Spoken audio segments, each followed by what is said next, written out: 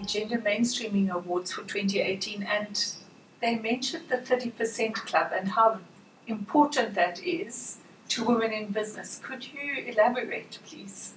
Well, I think what I know about the 30% Club, it started as a concept by getting at least 30% of a board makeup to be women. Mm. And when you ask why 30% and why not 50%, because I think that's the obvious question, isn't it?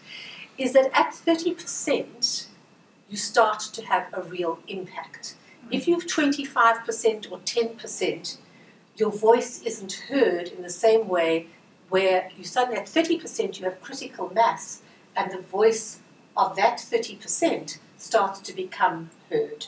And that's why they selected um, that as a name to try and get 30% of women on boards.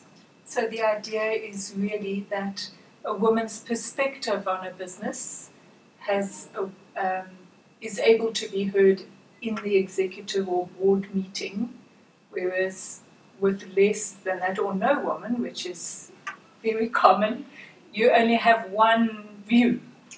Yes, I think so. I think if you think about it in a, in a meeting or in a group, say there are 10 of you, if you've got one woman in that group, if she's trying to put over a particular view, she might land up taking up 30% of the time and then be seen as being trying to dominate the, the procedure. Whereas if there are three women in the 10 and they each only take up their, their 10%, they've still managed to get across 30% of their views. And it also feels a little bit more natural, maybe, and more comfortable when you are in a group. Of course, if there are only three of you on the board and you just the one woman, that does change that quite a lot as well.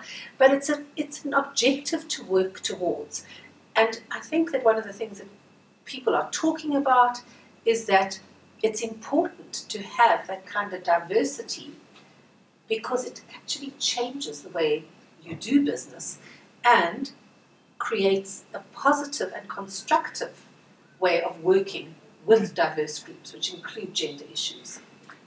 And I think you shouldn't start only with the board. To get a board like that, you actually need to start lower down in the organization with every meeting or management group yes. being represented like that. Well, you need to be as representative mm. as possible. Obviously, gender isn't the only issue no. around diversity, and again, same mm. same thing applies. That thirty percent gives you a real voice. Yes.